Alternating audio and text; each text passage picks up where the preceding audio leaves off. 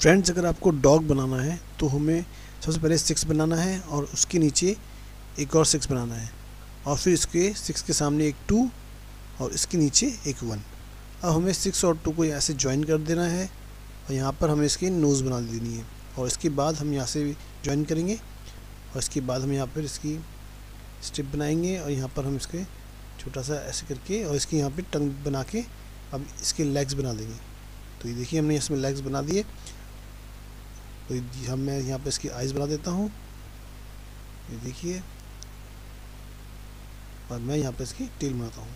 तो फ्रेंड देखिए कितनी आसानी से ये डॉग रेडी हो गया है। और इसके बाद मैं इसके लिए खाने का बाउल बना देता हूँ और जिसमें हम थोड़ा खाना रख देते हैं। ये देखिए।